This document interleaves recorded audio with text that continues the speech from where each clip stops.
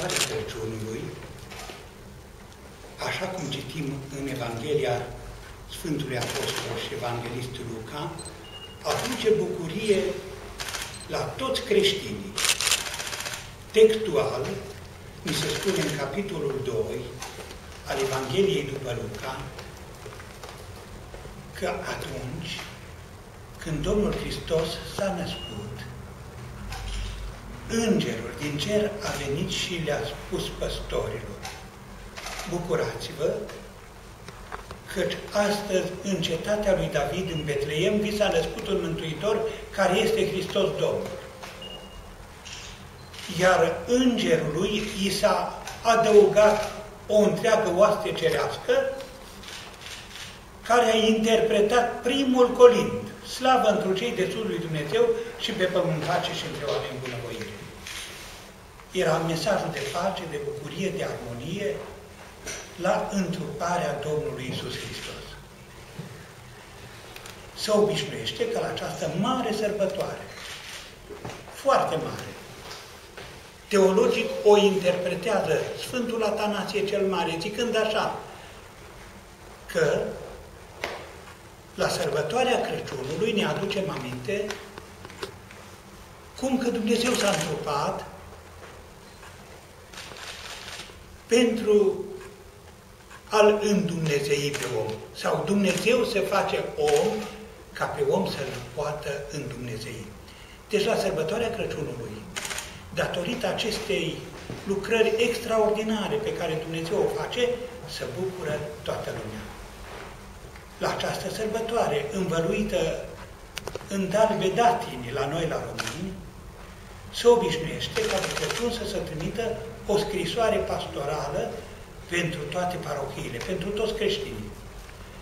Și scrisoarea pastorală din acest an, la sărbătoarea Crăciunului, am intitulat-o Pe altă cale.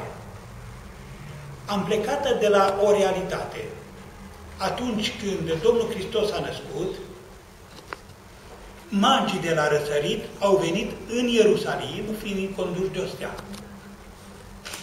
Așa erau încredințați ei spiritual că steaua îi va conduce la locul unde s-a născut noul împărat, noul rege al iudeilor. Au venit la Irod și l-au întrebat și Irod s-a tulburat pentru că el era autoritar și își vedea periclitat tronul.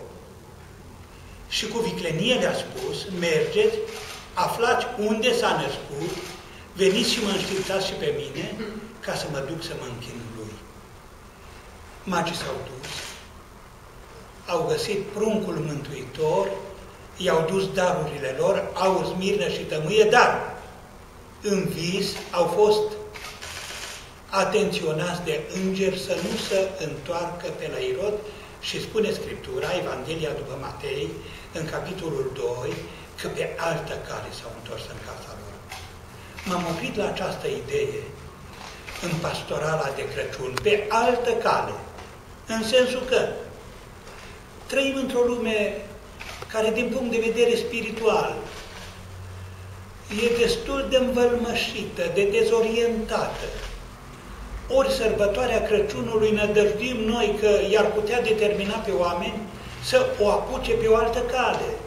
Dacă până acum au mers pe o cale rea, să înceapă să bătătorească calea cea bună.